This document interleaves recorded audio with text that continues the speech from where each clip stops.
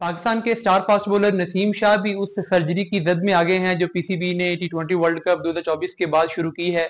आ, ये क्या खबर है? इसकी डिटेल्स भी मैं आपसे शेयर करता हूँ। इसके अलावा जो पीसीबी की नई सिलेक्शन कमेटी बनी है उन्होंने बांग्लादेश के खिलाफ सीरीज़ के लिए एक मीटिंग की है। कुछ बड़े इंपॉर्टेंट डिसीज़न किए हैं। कुछ प्लेयर्स के लिए बड़ी खतरे की घंटी बज गई है और कुछ प्लेयर्स के लिए अच्छी खबर भी है। ये सिलेक्शन के बारे में क्या होने जा रहा है? क्या फैसले किए गए हैं इसकी डिटेल्स भी मैं आपसे शेयर करता हूँ।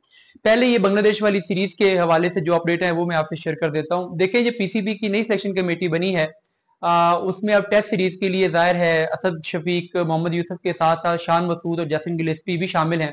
तो इनकी जो मीटिंग है उसमें जो फैसला किया गया है एक तो ये कि जो पाकिस्तान के टेस्ट ओपनर थे लास्ट ऑस्ट्रेलिया के टूबर में इमामुल हक और अब्दुल्ला शफीक उनमें से इमामुल हक को अब इस सीरीज़ के लिए ड्रॉप किया जाएगा। इमाम इस सीरीज़ में नहीं होंगे।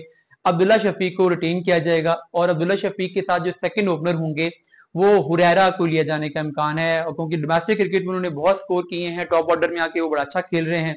तो हुरैरा और अब्दुल्ला शफीक की जोड़ी इस सीरीज़ में पाकिस्तान के लिए ओपनिंग करेगी। शान मसूद जो है, वो नंबर तीन पर ही खेलेंगे जैसे वो पहले खेल रहे थे। फिर, जो बाबर आज़म और रिजवान के बारे में स्पेकुलेशन थी कि वो इस सीरीज़ में नहीं होंगे तो ये गलत स्पेकुलेशन हैं। बाबर आज़म नंबर चार पे होंगे।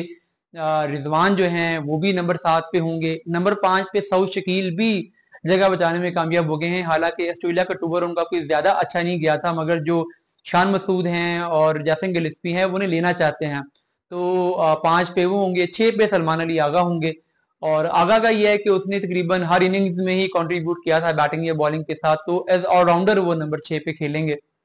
तो ये होगा। बॉलिंग में ये डिसीज़न किया गया कि जो शाहीन शाह अफरीदी हैं आ, उनको इस सीरीज़ में नहीं खिलाया जाएगा। आ, कुछ स्पेकुलेशन ये भी है कि उन्होंने खुद विद्रॉ कर लिया है। जैसे गिलिस्पी ने भी ये खबर दी कि शाहीन नहीं होंगे लेकिन उन्होंने उसकी मटरनल रीजन बताई कि उनके हाँ बेबी बर्थ होने वाली है दैट्स वाई वो नहीं अवेलेबल होंगे। अलबत् पीसीबी का जो डिसिप्लिनरी एक्शन है वो भी उनके खिलाफ होने वाला है तो उस वजह से भी वो इस सीरीज़ में ना होते। तो ये मल्टीपल रीजन की वजह से शाहीन इस सीरीज़ में नहीं होंगे। और पाकिस्तान इस सीरीज़ में जो नस्बता डोमेस्टिक क्रिकेट के परफॉर्मर्स हैं, उनको चांस देगा। मोहम्मद अली इस टेस्ट सीरीज़ में खेलेंगे। इसके अलावा मीर हमजा भी इस सीरीज़ में होंगे और साथ में आमिर जमाल भी होंगे और जो स्पिन बॉलिंग है, उसमें पाकिस्तान इब्रार के साथ जाएगा और साथ में एक एडिशनल स्पिनर नोमान हो सकता है या साजिद हो सकता है। इनमें से भी डिसीज़न नहीं हुआ। तो ये पाकिस्तान की वो टेस्ट टीम है जो कि बांग्लादेश के खिलाफ सीरीज़ में हिस्सा लेगी। तो पहली खबर तो ये थी। जो दूसरी खबर है, वो नसीम शाह के मुतलिक है। पीसीबी ने जो कुछ ऑपरेशनल डिसीज़न किए थे टी ट्वेंटी वर्ल्ड कप 2024 के बाद अब उन्होंने उन डिसीज़न को इम्प्लीमेंट करना शुरू कर दिया है। ये डिसीज़न डिसिप्लिन या टीम के अंदर ग्रुपिंग के कॉन्टेक्स्ट में मैं बात नहीं कर रहा, बल्कि मैं प्लेयर्स की वर्कलोड मैनेजमेंट और जो बाकी एस्पेक्ट्स हैं उनके लिहाज से बात कर रहा हूँ। क्योंकि पीसीबी हेड को ये मशवरा दिया गया था कि पाकिस्तानी क्रिकेटर्स बहुत ज़्यादा लीग क्रिकेट खेल रहे हैं, जिसकी वजह से उनकी फिटनेस कंप्रोमाइज हो रही है और खासकर जो हमारे फास्ट बोलर्स हैं उनके लिए।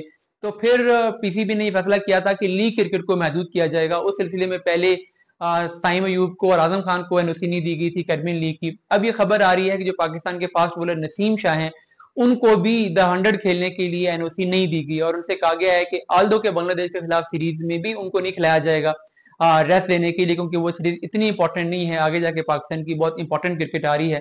और साथ में उन्हें हंड्रेड खेलने की परमिशन भी नहीं होगी। उनसे ये कहा गया है कि आप जाके एनसीए जाएँ, वहाँ पे रिहैब करें फॉर्म और फिटनेस पे काम करें और पाकिस्तान के लिए जो आगे ऑस्ट्रेलिया का टूर आ रहा है, उसके लिए अपने आप को अवेलेबल करें, उसके लिए अपने आप को फिट करें। इसलिए उन्हें इस दी हंड्रेड खेलने के लिए एनओसी नहीं दिया गया। और ये मेरे ख्याल में एक अच्छी खबर है। पाकिस्तान को अपने सारे पेसर्स के लिए यही पॉलिसी बना लेनी चाहिए कि पीएसएल और पाकिस्तान के अलावा वो और किसी लीग में नहीं खेलेंगे, किसी और टूर्नामेंट में खेलेंगे। ये एक पॉलिसी शाइन के लिए भी होनी चाहिए। हारिस के लिए भी होनी चाहिए, नसीम के लिए भी, और जो बाकी पेसर्स हैं उनके लिए